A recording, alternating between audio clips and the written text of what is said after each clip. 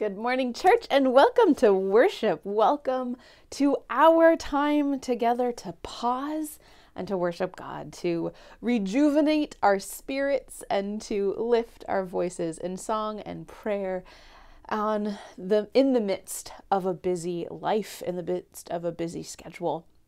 Welcome to our first Sunday in Lent, which is amazing. Our we continue our theme that we started on Ash Wednesday, our theme of walking away other than our own, this theme that we'll be journeying with throughout all of Lent. As a reminder, we are meeting in person on Wednesdays. You all are more than welcome to join us. Wednesday afternoons and evenings, both will have food involved, both will have great conversation involved. We'll be gathering in the fellowship hall around tables, around a meal, both in the afternoon and in the evening. So please do join us for that meal, conversation, and deepening of our spiritual practices together as a community. So please do join us for both tea church and supper church. It'll, it promises to be a great time together. As always, we'll continue our services on Sundays, both here online and in person. We hope that you are able to join us in whatever way works best for you. For now, let us turn to prayer to center ourselves in today's worship. I would invite you to take on a, a, posture of prayer, however that looks for you, whether that means grounding your feet beneath you, whether that means relaxing your shoulders or taking a deep breath, closing your eyes, whatever feels most comfortable. Let us turn to prayer. Holy One, we give you thanks for another beautiful day for a day in which we are given the opportunity to remember exactly who you are and who you call us to be. In these moments, in this worship service, grant that we might feel your presence moving amongst us. Send your spirit amongst us here, here and now, as we raise our voices in praise of you. In your holy name we pray. Amen. Let us sing together.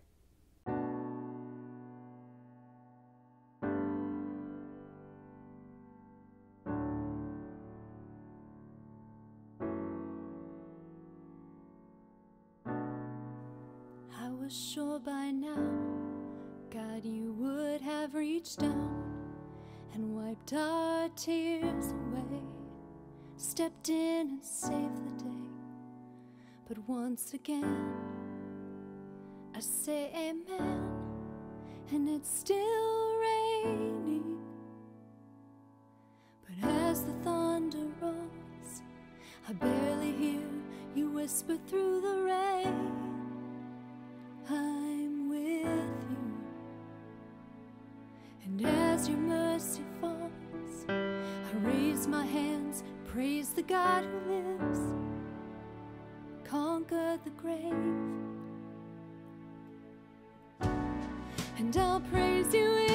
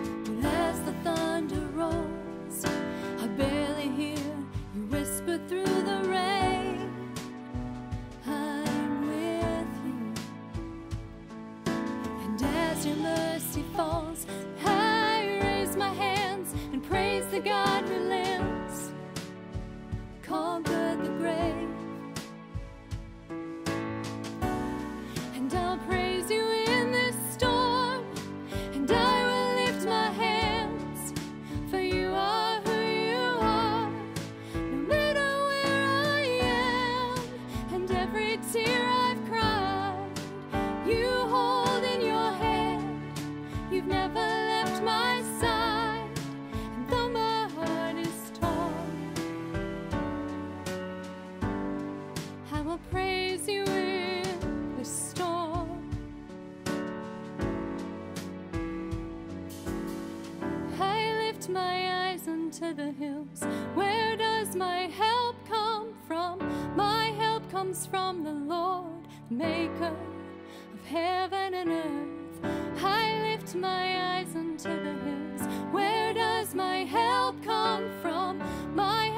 comes from the Lord, maker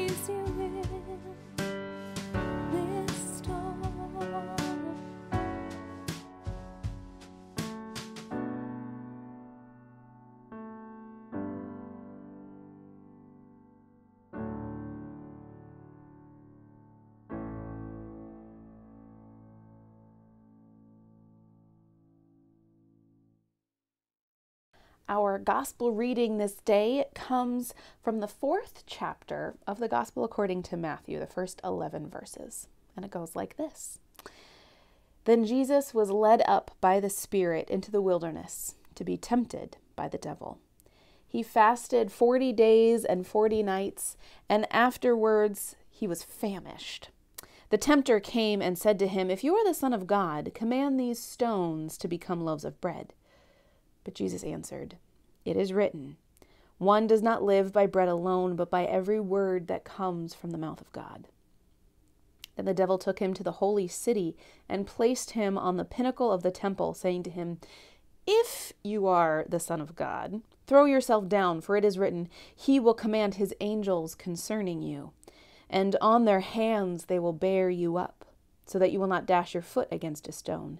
Jesus said to him, Again it is written, Do not put the Lord your God to the test. Again, the devil took him to a very high mountain and showed him all the kingdoms of the world and their splendor. And he said to Jesus, All these I will give you if you will fall down and worship me. And Jesus said to him, Away with you, Satan, for it is written, Worship the Lord your God and serve only him. Then the devil left him, and suddenly angels came and waited on him. Here ends our reading for this morning. And what a tough reading that is. I've been sitting with this reading and preparing for this sermon, and this the tempta- the story of the temptation of Christ is one that I'm constantly struggling with. Maybe I should say I struggle with Christ's struggles. I mean, he doesn't struggle, but you know what I mean. I have a hard time with this text. I have a hard time because I don't know exactly what it is I'm supposed to take away from it. Sometimes maybe we read this text and we think, well, if we are similarly tempted, we have our answers right here, ready to go. We know exactly what to say. And that's great. And I know that there are temptations beyond the three that the devil offers Jesus, that there are temptations in our lives every day that lead us away from God's promise of life. So, what to do with this text? What does it mean for our lives here now in February of 2023? Why read this text still? And why read it at the beginning of Lent? I hope that you sit with that question for a little bit because I think we'll all come up with different answers, right? I think each of us comes up with a different reason why this text is important. For me, as I was reading through this today, it was, and this week, it was important to me to read Jesus' responses. And not just because there's this canned way or this script that I have now to go out and live my life when it comes to temptation, but because of what his answers have to say about who God is. We're entering Lent. We have entered Lent. It is officially Lent now. When I think about Lent, I think about um, how similar it is to Advent, how we have this period of waiting and preparation. And I was trying to figure out why Advent feels different from Lent. And I think it's because Advent is all about excitement, expectation, and the, the new life that we know is coming in Christ. So you're so excited about what is new, what is upcoming, the excitement of Christmas. And as I've been reading this text, I've started thinking and feeling and living that maybe Lent, there's still anticipation, there's still excitement. But maybe Lent's time of preparation, it's more about remembering. If Advent is more about anticipation, I think of Lent as more about remembering. Because Lent is the time of the year when all of us who practice and observe Lent, we pause and we remember. We remember stories like this of Jesus' temptation in the desert. We remember the story of Holy Week. But most importantly, we remember the story of who God is, and we remember the reality of who we are. On Ash Wednesday, we receive the cross, the sign of the cross on our foreheads, and the reminder that we are God's beloved dust, and to God's beloved dust we shall return. A reminder that we are finite, we are, we are mortal. We have a limited amount of scope, time, resources, everything. Everything we have is limited, except the love and grace and forgiveness of God. That is unlimited. And that goes on. So we remember during this season that we are human and God is God. God is us. Or, sorry, God is God. We are us. There is no reason for us to believe that we are anything more. And that is beautiful. We don't have to pretend to be immortal. We don't have to pretend to keep going when we're tired. It's holy and it's good to be finite, to have limitations because that's who we are and that's who God created us to be.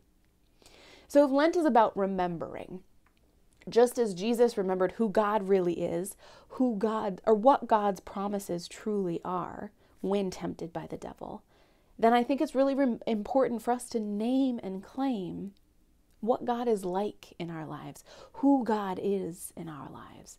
If we're remembering all the characteristics of God, if we're remembering the things that make God uniquely God, and the things that are within us that are godlike because we are made in the image of our Creator, but the things within us that are also finite, and that's okay. Then I think it's necessary for us during this time of Lent to remember and to reflect and to claim some identity markers for God. And I think that's the beautiful journey of this time, of this season, is this reflection on we live by God's word. And yes, we need bread. And yes, God, through Jesus, needed bread in his human body. And we live by the word of God. We live by God's grace and forgiveness. So I wanted to together read a book today. It's one of my favorites. Uh, it's this wonderful book called What is God Like? And it's written by Rachel Held Evans and Matthew Paul Turner. And some of the beauty and heartache of this is that this book was actually published after Rachel Held Evans passed away. And so this book literally embodies our human limitations, our human finiteness. And it talks to the ways in which God is beyond those, in the ways that our friends like Matthew Paul Turner continue that beauty, continue what is God like amongst us. So, this book is called What is God Like? I'm trying to figure out the best. I think this is the best angle. Okay. What is God like? It's a very big question, one that people from places all around the world have wondered about since the beginning of time. And while nobody has seen all of God, because God is far too big for any of us to fully see. We can know what God is like.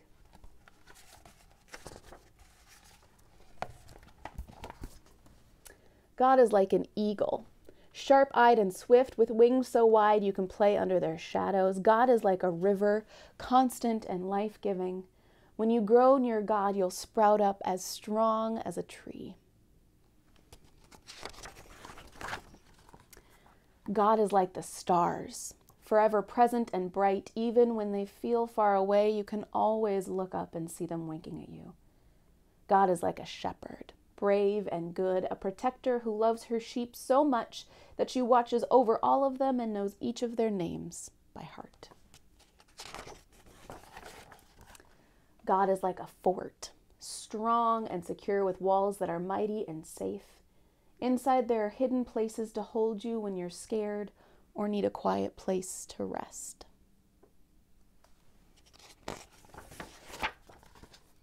God is like a gardener, patient and nurturing. God plants, waters, weeds, and fertilizes the earth until every good thing on it seeks the nourishing sun and grows.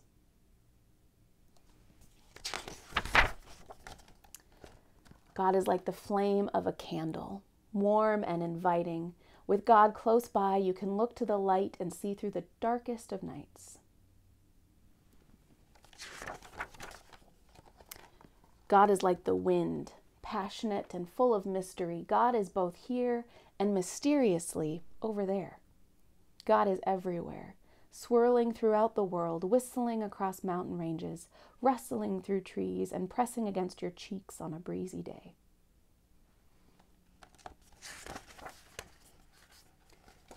God is like an artist, creative and unpredictable, always busy making and remaking everything brilliant and new. God is like a mother, strong and safe. You can crawl up into her lap whenever you want to, and she will hold you until you fall asleep.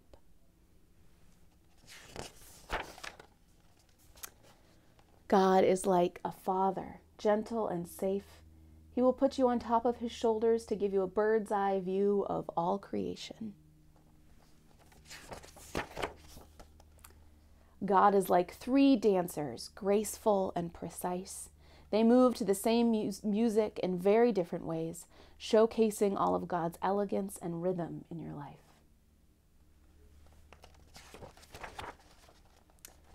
God is like a rainbow, vivid and full of color, a dazzling reminder of promise and hope for all people after a storm.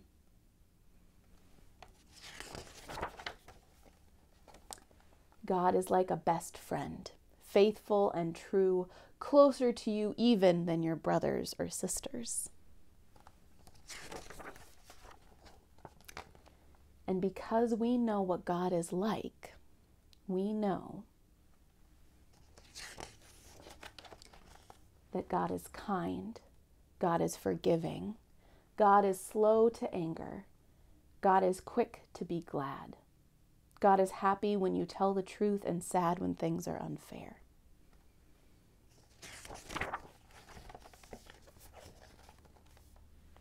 She is your protector. He is trustworthy. They are friends when you feel alone. God hopes. God perseveres.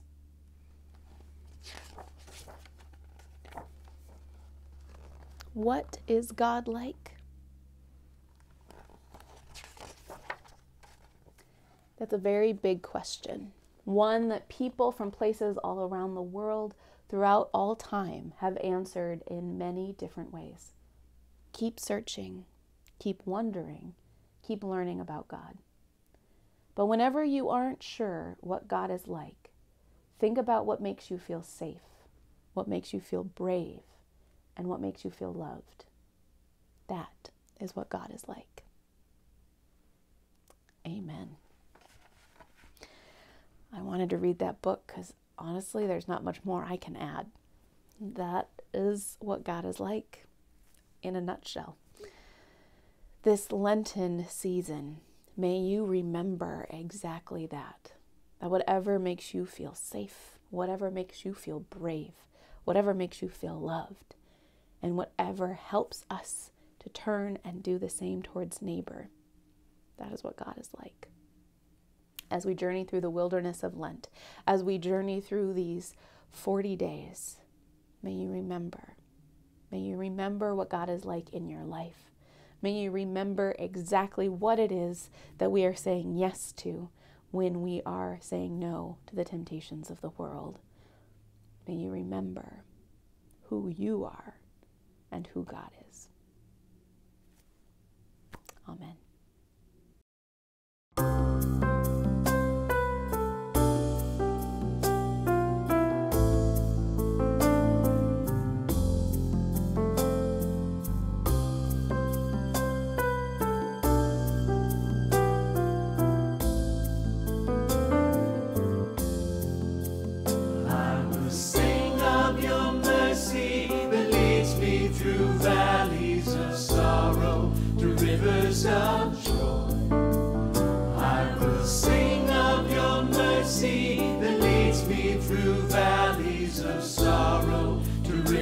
Rivers